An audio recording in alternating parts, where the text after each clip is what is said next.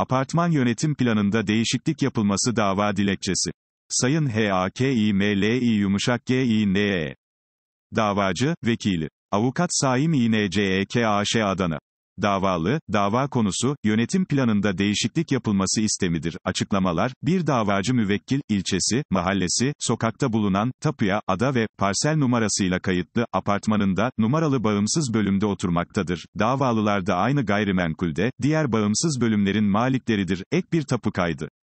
İki davacı, tarihli yönetim planının, maddesinde yer alan hükmün değiştirilmesi isteminde bulunmuştur. Ek iki yönetim planı, şöyle ki, 3 ancak bu istem diğer kat maliklerince reddedilmiştir. Şöyle ki, yönetim planında yer alan hükmün değiştirilmesi isteminin kat malikleri kurulunca reddedilmesi sebebiyle iş bu davayı açmak zarureti doğmuştur.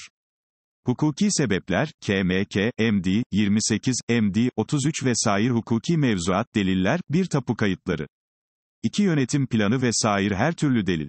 Sonuç ve istem, yukarıda açıklanan nedenlerle ve duruşmalar sırasında reason nazara alınacak sair nedenlerle, fazlaya ilişkin talep ve dava haklarımız saklı kalmak kaydıyla. Bir davanın kabulü ile yönetim planının, maddesinin davacı müvekkilin talebi doğrultusunda değiştirilmesine.